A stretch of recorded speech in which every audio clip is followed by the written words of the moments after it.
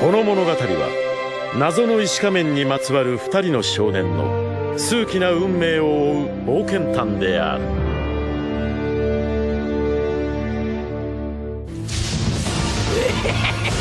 おい見ろよ事故だぜ。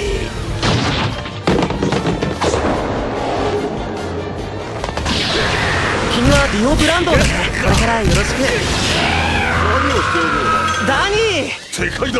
指4本を失うぐらい平気と言ったら言って何？お前天国へ行ってください。俺は人間をやめ待てディオ僕らはやはり二人で一人だったのかもしれないな奇妙な友情すら感じるよ。ジョジョ僕は。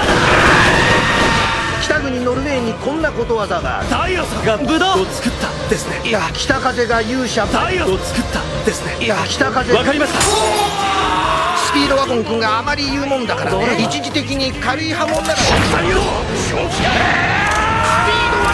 多分死ぬでしょ貴様の血をいただくぜ。波紋？この音いつも聞く波紋の流れる音だって。えー、お前は今まで食ったパンの枚数を覚えているのナイフだ行くんじゃねえ危険だ何を言っているなくわからねえ。波紋砲は悔しいことに破壊を目的としたものではない。したがってあのチェーンを切断することは不可能邪悪な魂を断ってやる。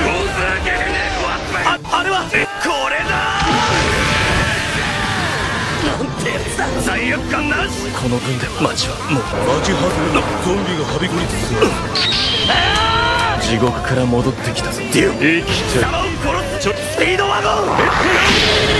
スピードワゴン。伝わるあのシスあいつ。だけは憎むべきはデオ何考え直せジョジョ。変なのがなんか言ってるぜ。お前誰？私はストレイツ。お前じゃね私はテペリ男子。えお前に生き返ってる。覚悟はできています。本当の紳士を目指しているから勇気を持って爆発させる。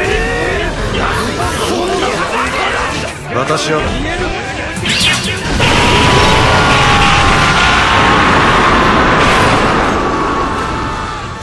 波紋が強すぎたかな。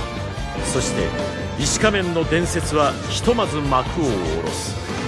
しかしそれはまた新たな冒険の時代の始まりでもあった。信じるなよそいつの言葉を。